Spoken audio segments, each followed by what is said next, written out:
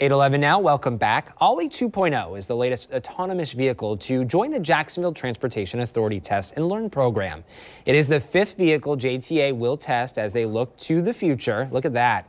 Olli 2.0 is an electric vehicle developed by Beep Local Motors by LM Industries and Robotic Research LLC. Joining us now, Joe Moye from Beep. Joe, thank you so much for speaking with us today. It's a pleasure to be with you. Beep has deployed shuttles with JTA, as we know, throughout the past year. What makes Olli 2.0 different, and why is this so important?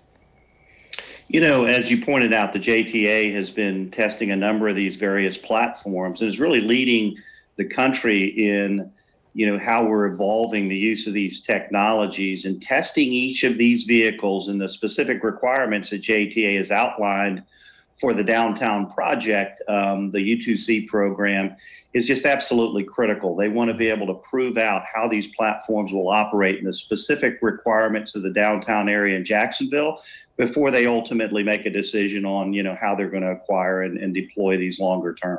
Makes perfect sense. Tell us a little more about this shuttle operation and what people can expect to see when they see Olli 2.0 going down the road. Yeah, so the, the way the vehicles operate is really two primary components of technology. First, you know, they're fixed route environments. So we actually map the exact route that these vehicles will travel, and then they're managed via GPS uh, network and connection to ultimately keep them on those virtual rails.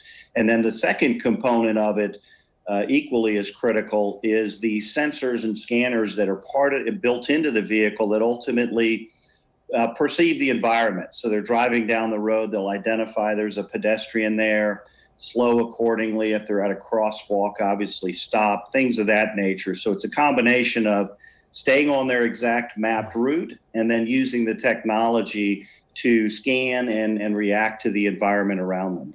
And of course, these routes are shared by people like you and I driving our vehicles, pedestrians, as you mentioned, walking across the street. Yeah, exactly. They're they're being deployed in mixed traffic environments without any adjustments to the infrastructure. There are scenarios elsewhere in the country where they have some dedicated paths, but they are operating on the roadways with other vehicles, pedestrians, bicyclists, whatever you know is there on our roadways today. In your line of work, what has the reaction been from people when they see these autonomous vehicles driving through the streets or parking lots and they don't see an operator inside?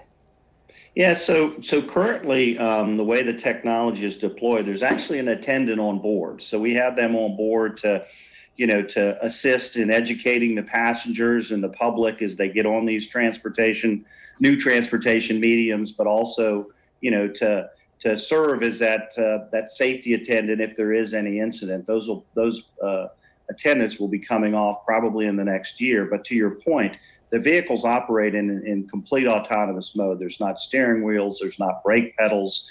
Um, they're literally r- driving down the road by themselves. I mean, people, I think, are excited about what the future holds for these types of of um, vehicles and, and platforms, but uh, it's a bit of a novelty. People are, you know, wanting to experiment with it, prove it out, but most importantly, I think, see as they get on these vehicles how safe they can ultimately be in supporting mobility in the future.